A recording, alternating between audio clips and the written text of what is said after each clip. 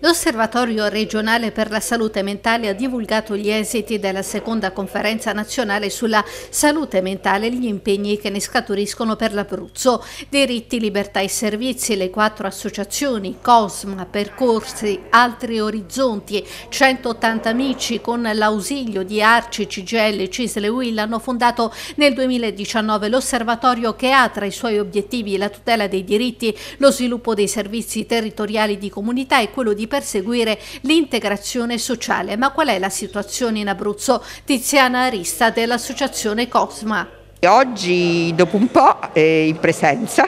come osservatorio regionale sulla salute mentale, facciamo un po' il punto sulla situazione in Abruzzo dopo la conferenza nazionale sulla salute mentale organizzata dal Ministero della Salute che si è tenuta peraltro dopo vent'anni, quindi è una grande novità positiva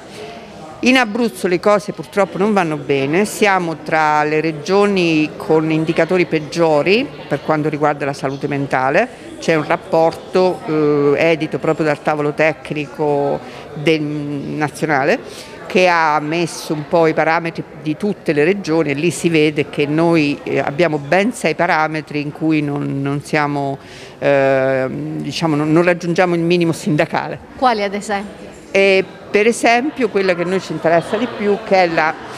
ehm, la, la psichiatria eh, territoriale. Noi vogliamo che i nostri familiari eh, non siano ricoverati per anni e peraltro lo vuole anche il servizio sanitario perché altrimenti spende troppo, che possano vivere a casa loro o insieme ad altri che hanno problematiche simili in appartamenti comuni ma assistiti. Ovviamente poi c'è un altro dato che ci preoccupa. Col Covid eh, sono emerse eh, problematiche che riguardano gli adolescenti, alcune volte gravi, e gli stessi centri di salute mentale denunciano che non ci sono accessi e che loro però quando poi ci sono accessi hanno anche difficoltà ad intervenire per carenza di personale. Quindi questa è la seconda grande criticità.